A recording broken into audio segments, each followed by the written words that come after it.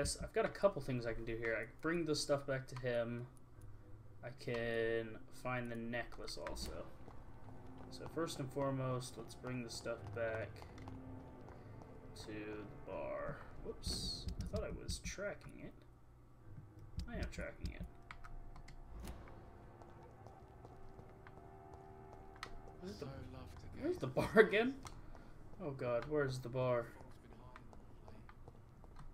Uh, down here is the bar. Turquoise Turtle.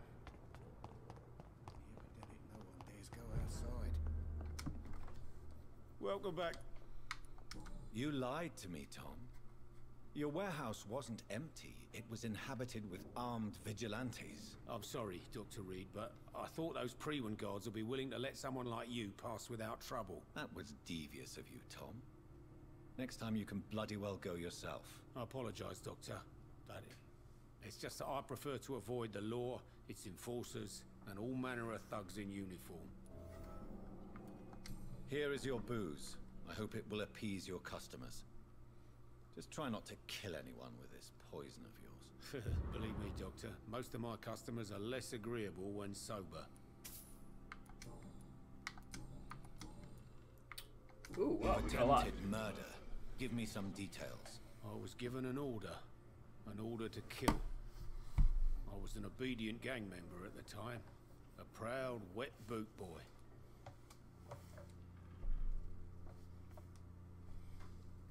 Okay. Why did you join the gang? Because I finally felt useful. Do you have any idea what it means to feel respected when the rest of the world shits on you? So you were ordered to kill someone. What happened then? I don't know if you can possibly understand, but... I couldn't kill him. I just stood there pointing my gun. Someone saw me. I gave up. Why couldn't you shoot? My target was eating in that fancy restaurant with mirrors and music. He was eating, drinking, laughing. He was having such a good time. I hated him for his bottomless appetite and easy life of easy pickings. And then something happened.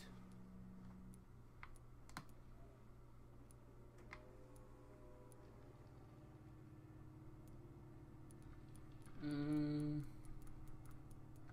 You refused to kill him because you wanted to feel some of that happiness yourself. You empathized with him. Exactly. The man was a bloody landlord who rented overpriced flats. Selfish bastard. But he made me smile. And I was no different from him. Tell me about your arrest for attempted murder, Tom. I tried to kill someone. We just went over this. Arrested.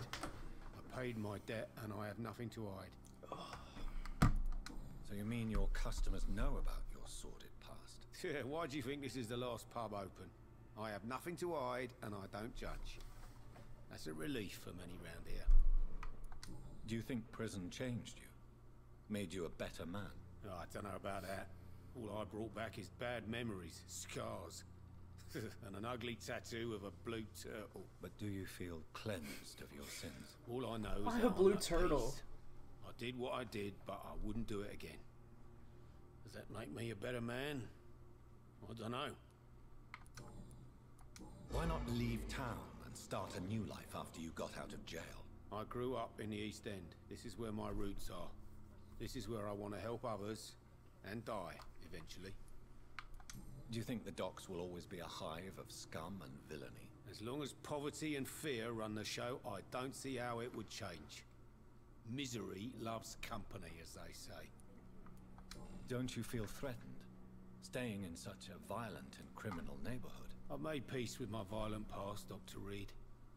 I may not be a pacifist, but I'm not angry anymore. Okay. Goodbye,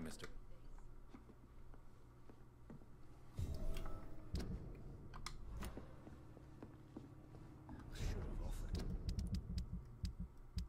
So, guess I'll go look for that next. Somewhere around here. Retrieve the necklace lost by Fish Bernie Bernie.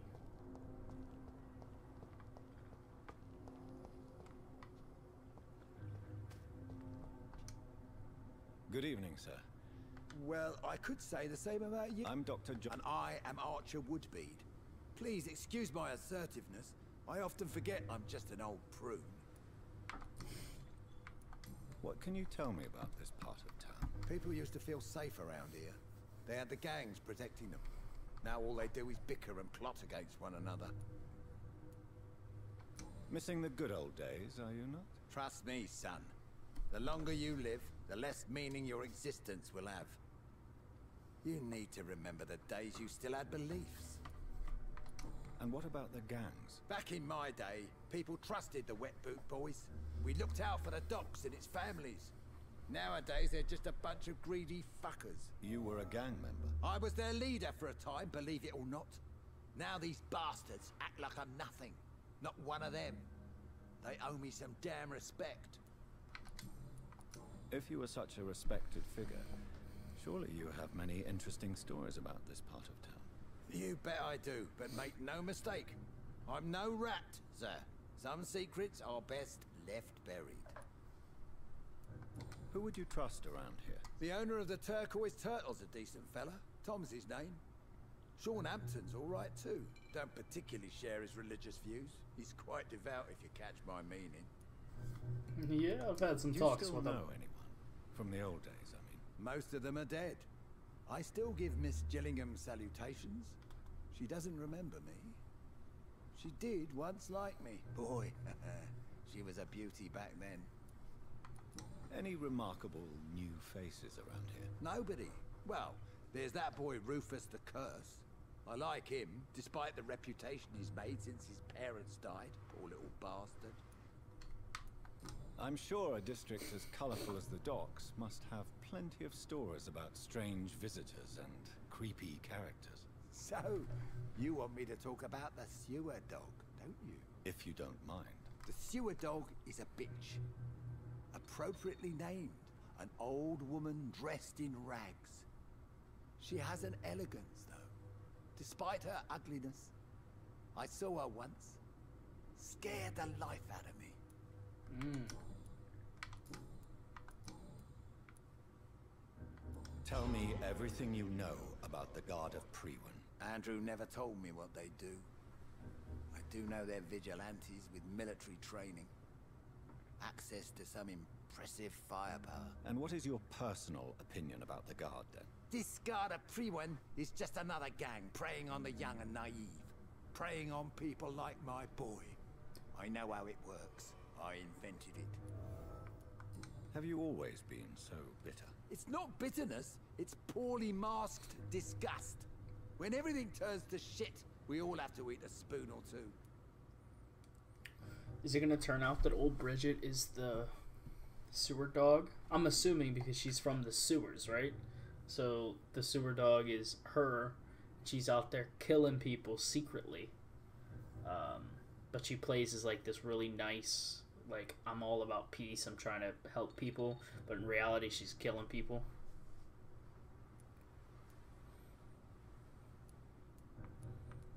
Um, With everything that's happened recently, the war, Spanish flu, I must concede that these are difficult times. A few nights ago, I saw a kid eating a rat. He was right in front of one of those abandoned houses nearby. Just chewing on a living rat's insides. I don't know if that was necessarily someone you wanted to go talk Tell to. Tell me about the Wet Boot Boys, Archer. I want to know more. We were there for the families and each other. It was us against the world. We were vicious, tough, even cruel. But we were united. You sound like you were some kind of radical union member. Yes, nowadays the communists and gangs squabble over pointless territory. Sounds stupid when you say it out loud. Why did your son really join the Guard of Priwen? If I believed in a higher power, I'd see this as punishment for my own sins. I deserve it for all the young men I enlisted back in the day. You don't believe in God, though, do you, Mr. Woodbead? So why did he join? Now I think about it, Andrew joined the Guard, not to defy me, but to follow in my footsteps, to make me proud. So your son has left you nothing to explain his actions? No letter or message? Not even a note. I'm a proud man, Dr. Reid. But I would kneel and pray if I thought it would give me my Andrew back. Goodbye, sir. Wow, was that everything for him? I just had everything already? Where's he at? Uh. Oh, there he is. Yeah, I guess so. Um, alright, so I guess I've got to find the necklace lost by Mrs. Fishburne. I cannot enter. She's kind of crazy, I think, though. Mm-mm-mm. So, it's a really big radius, though. Jesus. It's like the entire area. It could be anywhere.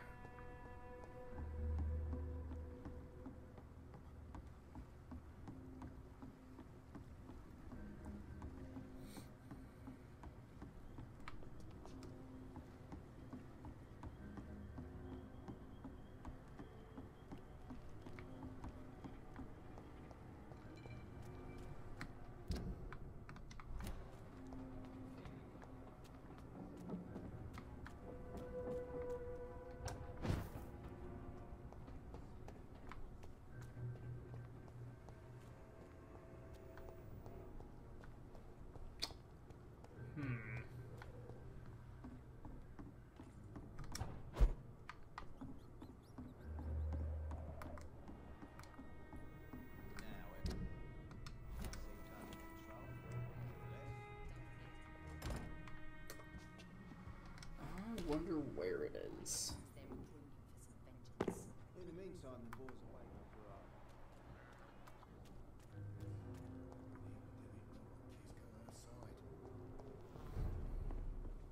Couldn't be here in the pub, could it? There's gotta be something I can think be I'm done to losing get my out of mind. this bullshit mess. I should just run as far away from this place as I can. Uh, You sh- probably should. Uh, I won't lie to you.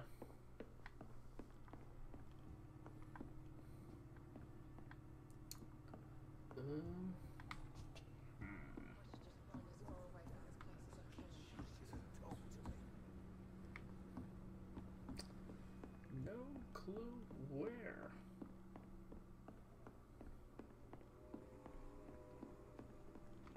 That necklace is. Man, I wish they would have like given me a little bit of a idea of where it could be. Jesus. Seems quite an irritable man, not exactly the friendly type. He confused to me he lost oh he confessed to me he lost the necklace he wanted to offer to his mother if it can help the man calm down maybe i should try and find the lost gift so It's locked, all right. maybe he lost it near where he hangs out. Maybe that's a good place to look first. Maybe over here. Uh, that's wooded um, it's this way I think. This where. Buddy boy's at Alright, maybe will this help us at all? Maybe I talk to him. Maybe he can to every night. Good evening, Mr. Yeah, yeah. give me an idea of where he lost it at. Like Goodbye. Jesus, the, you can't even give me like a. Well, it's probably like. In like I guess he gave me an area, but you pretty much gave me the area of the entire docks.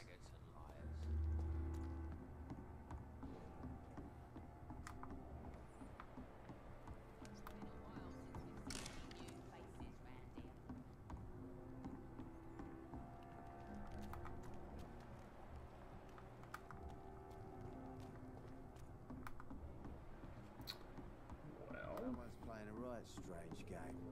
And I'm gonna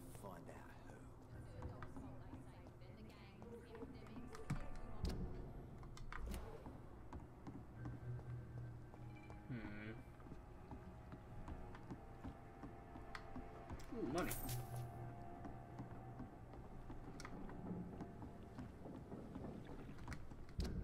I guess I'm out of the range now. Huh. I have no idea. Maybe it's down here? I have no clue. Fool. Jeez. Arms me to know you can't see. Oh, he's the one. I was like, what the hell was that? Who's shooting up the place?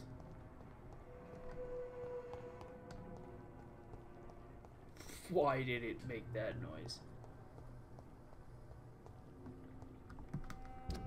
Um, maybe it's down here near the docks down here. Maybe, possibly. I keep going into this view because I'm hoping it's gonna like shimmer a little bit or something, and I'm gonna be able to figure out where it is.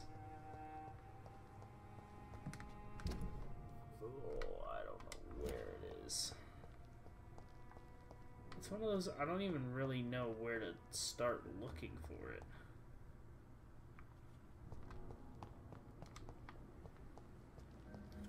I have a feeling maybe this guy stole it or something.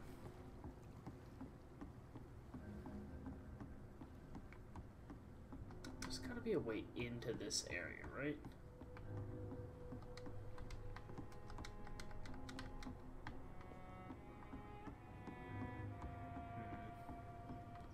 There's gotta be a way down here, right?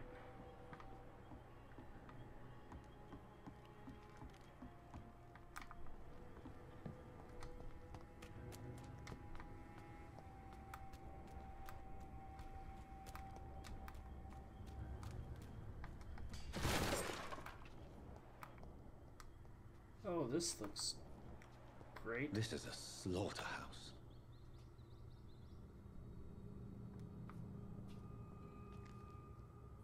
What the fuck did I walk into? From Seymour to my beloved mother Stella. Fishburne, that sneaky bastard.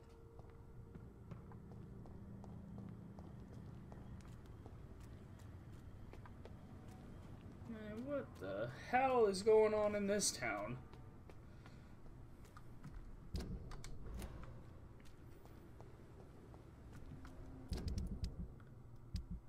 So I can either give it to Seymour, bring it to his mother.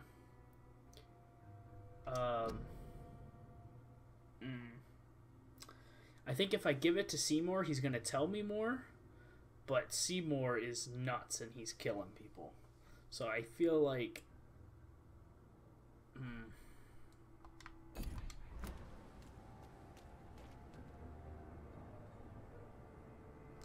Feel like that wouldn't be the best move. Or if I give it to his mother, maybe he's gonna go nuts and try and kill other people. I can feel it coming in my bones. Hatred. Good evening. Yeah, yeah.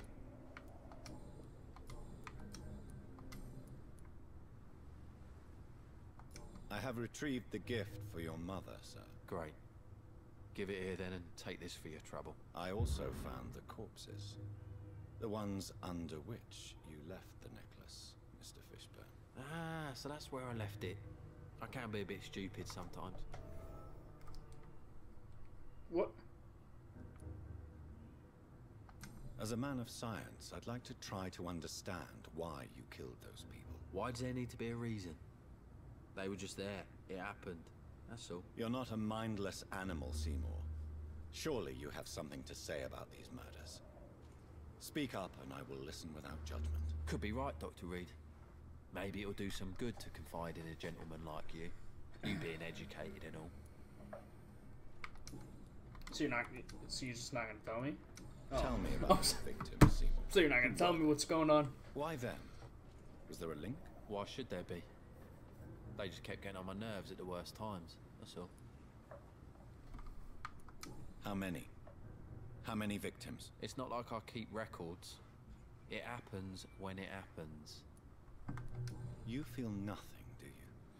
No empathy for your victims at all? You seem pretty calm yourself, don't you? We're not talking about me. That right? Well, our calm's the only thing we have in common then. Did you take pleasure in killing them, Seymour? All those people, all those lives extinguished. I take no pleasure from it. Just gives me peace. Stills the anger. For a time. This rage you feel, have you ever been able to control it? Resist it? I. I tried. For my mum, I tried for her. Telling the truth made me feel better. For a while. Don't you think you should seek help? Talk to someone you trust, someone who cares about you. No. And don't dare speak about me to your colleagues either. Keep your mouth shut tight. Especially about my mum. Or what? You gonna try and do something? Why is your mother protecting you, Seymour? I'm her son. She's the only one who knows me.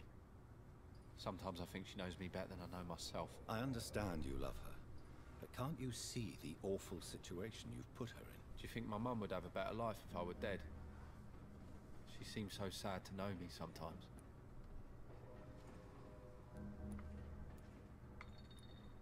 Like, this is what I want to say. Like, dude, yeah, you're nuts, so die. But I don't believe death is the appropriate sentence for murder. Not in a civilized society. But the last word has to remain with the law. There is no law around here. No justice to be found. In these parts, revenge is the only answer. Hmm. I, I goofed Goodbye, it, boys. I screwed it up.